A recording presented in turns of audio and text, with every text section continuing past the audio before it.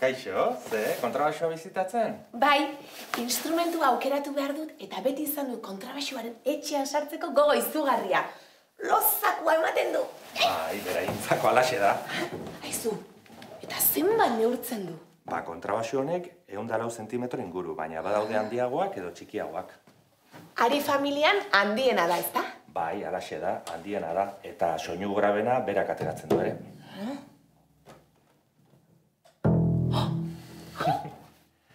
Pieza honek pika izena du, eta atera edo sartu egiten da pertsonaren altueraren arabera. Beste pieza honek boluta edo burua izena du. Hemen sokak heltzen dira eta jaisten dira kutsa zeharkatzen kordaleraino iritsi arte. Eta pieza garrantzitsuena eta aldi berean txikiena arima da. Eur hori? Bai, arimari gabe ez litzateke soinua sortuko kontrabaxuan. Kontrabaxuak ari familian soinu grabena izanik, altura desberdinetan ere jo dezake. Entzun nahi? Bai, noski?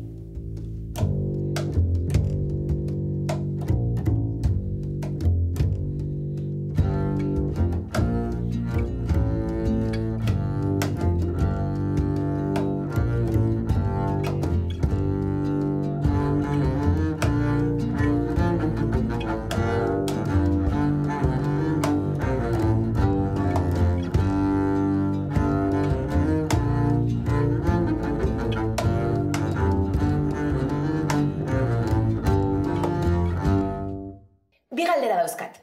Lehenengoa, nondik dator kontrabaxu izena? Kontrabaso italiarritzetik.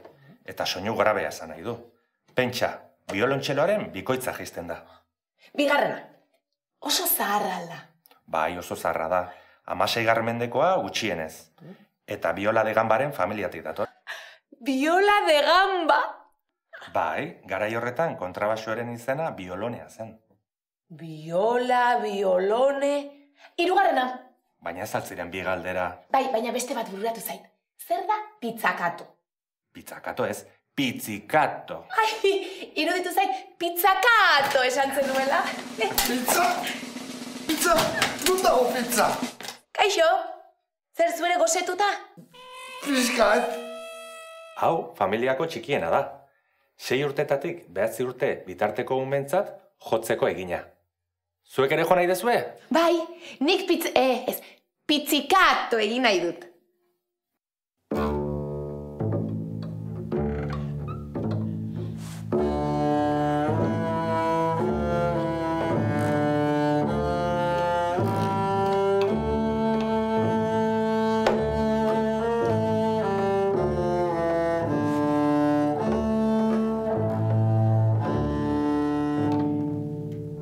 Oso ondo! Ze ondo, eh? Kontrabasoan, soinua bi eratara egin daiteke. Bata da pizzikatuan, zuek orentxe jo dezuen bezala. Hogei garren mendean, kontrabasoak musika modernoan garrantzi handi hartu zuen. Batez ere, jazz musikan.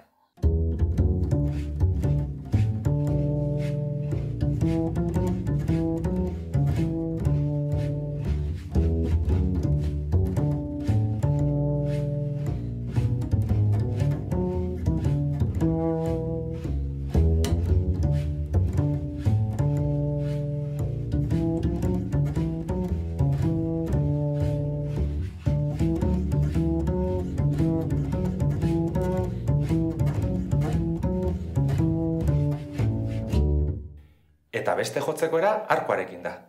Pieza honek elefante izena du, eta bere ibilera imitatzen du.